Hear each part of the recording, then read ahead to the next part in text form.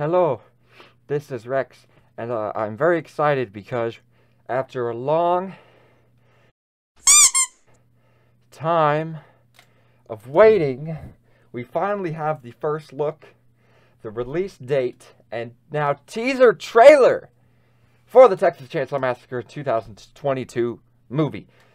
The teaser poster was first introduced in like mid 2020 or late 2020, saying 2021 it would come out, and of course it got delayed.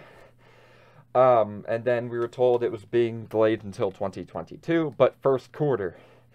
But the th- th- there's been so many issues about this movie already. Is the fact is all the controversy, or more like not really controversy, but like discussions about oh the test screenings were shit, and then the director said no they weren't, or director or producer said no they weren't. They actually were really good. Well, if they were really good, then why did the film get yanked out of a theatrical release? And uh, why is it being dumped on Netflix in now uh, confirmed re- release date of February uh, 2022, late February? Um, I don't know. But uh, the first picture we got looks absolutely fucking awesome. I love the look and the feel of it overall, and the setting looks absolutely awesome.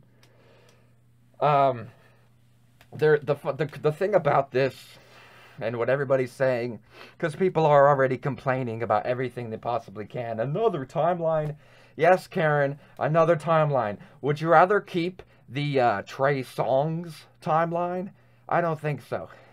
The Do Your Thing Cuz timeline? No.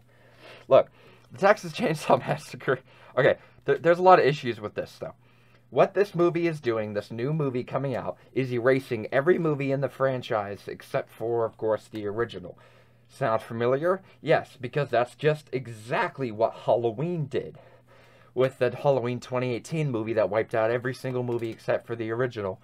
Um, so, it's decades after the events of the first film, and now our the the survivor from the first film is fighting an older Leatherface. That's exactly what, you know, we have Sally Hardesty versus old Leatherface. Just like in Halloween, we have old Jamie Lee Curtis versus old Michael Myers. Um, but unfortunately, this one, we can't have the original Sally because Marilyn uh, Burns passed away, but Jamie Lee Curtis is still very much alive. Um, but people are complaining how is a 60, almost 70 year old Leatherface going to chase these 20 year old kids down the. Well, he didn't say that about Michael Myers. Michael Myers has got to be in his late 60s in the new movie, but he's doing pretty damn good, so I don't see much of a difference. What uh, I don't care much for is seeing Leatherface dig out the same exact chainsaw he had in the original film, just like Michael Myers digs out the same exact mask in the Halloween movie, which he also did in the remake. Um, there's just a lot of repeating things that bug me. Um, but I read something. I read something on Instagram that kind of pissed me off or bothered me. Was somebody said, "Oh, I read an early script. They could have rewritten it, but I heard something about these kids buy the town that Leatherface lives in, and that whole thing sounded horrible. I really hope that that's not what the plot is. It doesn't. It doesn't have anything to do. I don't. I don't know. I mean, the plot was basically that I've seen at least the most of is that this girl drags her sister, who's in a wheelchair, to Texas on a business trip out of fear of leaving her alone in the big city by herself. And they end up near Leatherface's or in Leatherface's house, wherever he's hiding in. Um, but where does the where does Marilyn Burns come into that picture? Is, is the what leaves the question? Uh, where does Sally Hardesty, I mean, come into the picture? Um, I don't know but I am I've been on my edge about this movie wanting to know more about this. The thing is this now um, I don't even know what some of the sequels in this franchise consider themselves to be, but you have the original Texas Chainsaw Massacre 2 directed by Tobe Hooper who directed the original um, which was a goofy like parody of the first film, really. Parody of itself more or less. Then you had the 2013 sequel, where that wiped out every film but the original, and it failed due to the fact that the studio didn't really give a shit about it. They cut the budget, they added really stupid lines, they added actors in there just solely so they would bring in a younger audience. They did a cast casting decisions that didn't make any sense. Such as Alexandra Daddario, who's like 25, supposedly be, supposed to be 40 years old. It doesn't make sense. It's 40 years after the events of the original.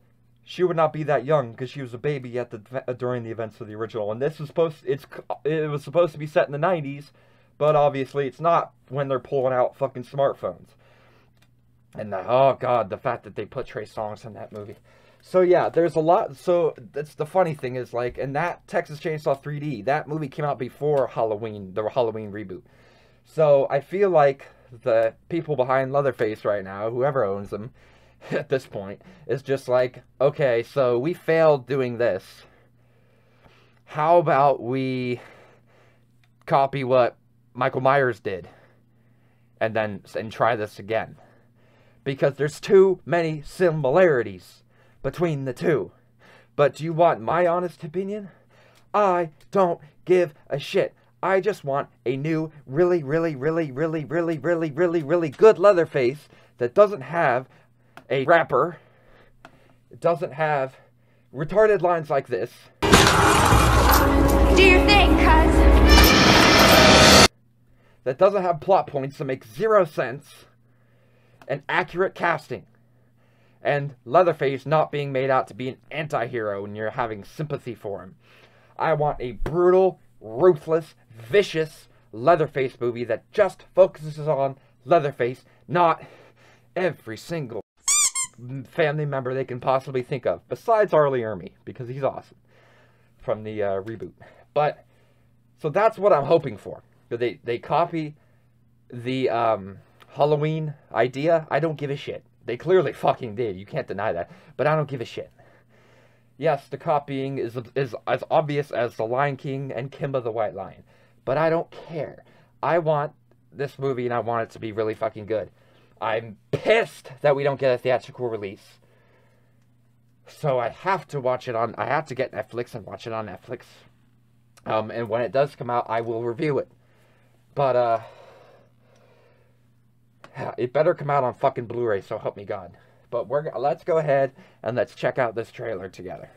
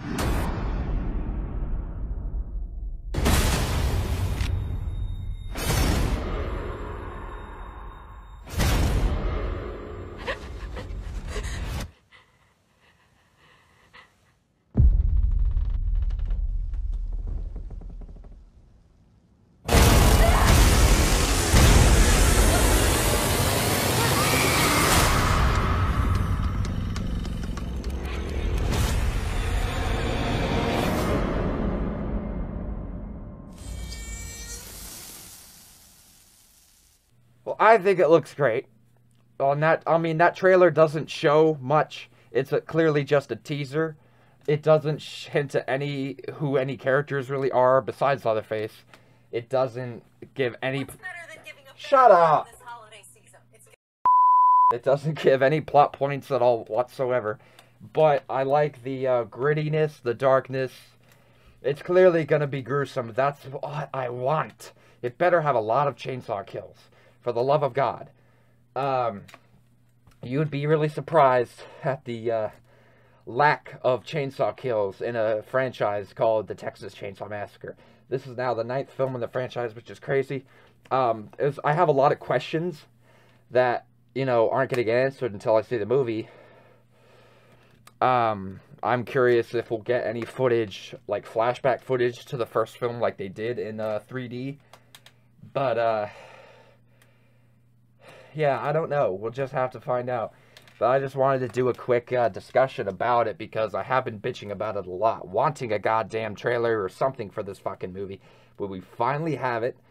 it I mean, it got to the point where I'm like, this is never, this is never going, never to get anything for this movie. And then while I was at MFF, all of a sudden I saw it. So that's why I didn't make a video a couple days quicker. When it did first come out, I would have, but I was, I wasn't, you know, I was there. So it's fucking hot in here, of course, and I will see you guys in my next video. Murph!